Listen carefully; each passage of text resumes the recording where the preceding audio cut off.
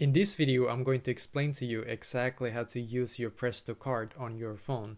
So as you can see, I have an iPhone, but if you have an Android, this also works, just so you know. So the first step is going to be for us to go into our settings app. So go into your settings app, and then now when you're on your settings app, scroll down in here until you can see where it says wallet and Apple Pay. So click on wallet and Apple Pay.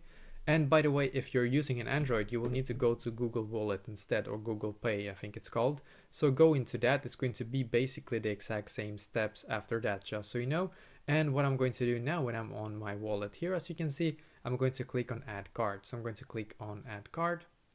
Just going to load here for me, so we need to wait a couple of seconds for it to load, and perfect. As you can see, we now get to this page right here.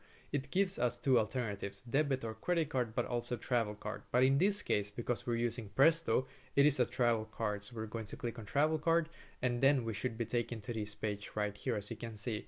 Now on this page, we're just simply going to search for Presto. And as you can see for me, I'm not able to see it right now. And that is basically because my location is not right now, or my geographical location where I am right now is not accepting Presto. So where I am right now doesn't have this option. So that is why I'm not able to find Presto. But if you are in a geographical location that does have Presto, then you can just search for it in here. Then you will need to select it and then you will probably be able to scan that card or enter the details manually if you don't have the card physically uh, near you right now. But I will probably say that it's much easier to scan it if you can. And yeah, basically after that you will be able to add your Presto card to your phone and after that you will be able to use it. And as, it, as I said before, it's the exact same steps if you're using a Google Wallet. So let me know in the comments below. Maybe if you have any questions and I will try to answer to as many as I can. And also I wish you the best day.